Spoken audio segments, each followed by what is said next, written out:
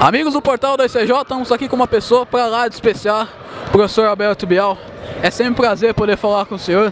É, nós já tivemos uma entrevista que para mim foi histórica, é, quando o senhor veio comentar para o Sport TV a série quarta de finais entre o Bauru e o Brasília uma série espetacular.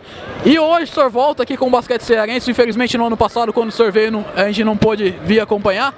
É, sensacional o projeto. Vamos, antes de falar do jogo de hoje, vamos falar um pouquinho desse projeto do basquete cearense, que com dois anos de existência já tem uma participação em playoffs do NBB, já levou o jogo das estrelas para o Nordeste e está fomentando o esporte por lá. Sempre prazer imenso poder falar com o senhor. Obrigado, ouvir essas palavras sempre é muito bom para a gente. Por mais idade que a gente tenha, ouvir é, é, elogios e, e, e palavras de, de, apoio é sempre muito bom.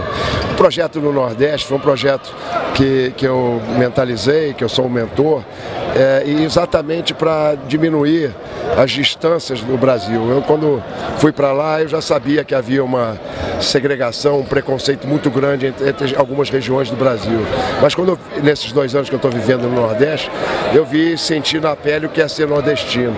Então me deixa muito feliz poder estar tá abrindo as portas e dar oportunidade a milhares e milhares de crianças que estão agora jogando basquete, o, o, o povo cearense tem na nossa equipe hoje uma referência e um exemplo são milhões de torcedores que hoje são adeptos do, do Sky Basquete Cearense.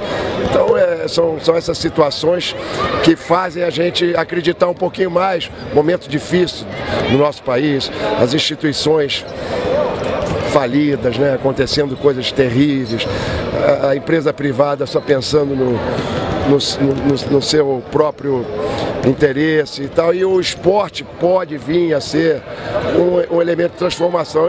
Para mim foi uma revolução.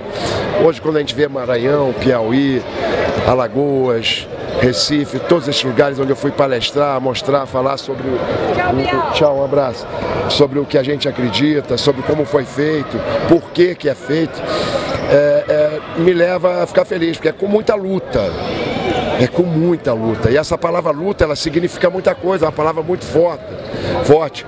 Luta. Lute. E eu tenho meus ideais. Eu sou uma pessoa que não vivo do capitalismo. Eu não vivo, eu vivo de ideologia.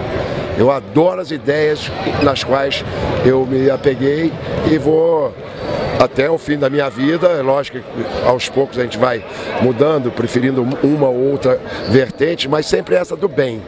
Caminhar procurando fazer o bem, ajudar aqueles que precisam, sem interesse de ser reconhecido por estar fazendo aquilo. Então é, é um caminho é, que o basquetebol me permitiu e que procuro fazer uma revolução através do esporte. Bom, agora vamos falar um pouquinho da partida de hoje. Um confronto direto para as duas equipes. É, quero falar, as partidas de alto nível, só que a arbitragem ali acabou errando para ambos os lados, acabou estragando um pouquinho a partida, mas foi uma baita numa, num jogo, né? Adorei. Achei o jogo de basquete hoje um jogo sensacional. O NBB tem grandes jogos. Né? Hoje na televisão vi um jogo e fiquei, fiquei arrepiado, tava feio o jogo. Aí, aí veio esse jogo aqui, porra, e me arrepiou inversamente. Porque foi muito bem jogado, foi legal. Alguns garotos, uma bola do Andrezão ali espetacular, alguns momentos do Brandon Brown, porra, a, a, a estratégia e os planos de defesa. Pô, achei, achei bacana. E tá envolvido num jogo desse, muito melhor do que como comentarista, como técnico, estrategista, buscando o melhor para a minha equipe. Eu saio derrotado, saio vencido, mas tranquilo, com a cabeça e a minha consciência de ter dado o melhor, de ter trabalhado com o máximo do, do, do, da minha competência e, e, não ter conseguido o resultado, mas saio tranquilo e feliz e, e, e parabenizando a equipe do, do Bauru que mereceu a vitória. Bel, o basquete cearense ano passado bateu na trave nas oitavas de final, quase conseguiu eliminar o paulistano. Acredito que o objetivo dessa temporada seja ultrapassar esse degrau e conseguir pelo menos chegar nas quartas de final. O que, que, você, que, que você acha que a equipe tem que fazer ainda para conseguir esse objetivo ou se a equipe está preparada já? Eu acho que nós estamos preparados para alcançar esse objetivo. Independente, agora eu acho que a gente não pega mais Bauru, estava falando, ah, vai ser Bauru, vai ser Bauru. Agora é muito mais provável que a gente pegue um São José, um Uberlândia, mas quem quer que seja, é, é, nós estamos preparados para passar essas oitavas de final. É uma equipe aguerrida, é uma equipe compromissada, é uma equipe que é, pode não ter assim um Larry Taylor, um, um, um, David Jackson, jogadores que podem desequilibrar, mas tem um. Até o Brandon Brown está conseguindo fazer esse papel de um jogador de, de, definição que desequilibra no um contra um.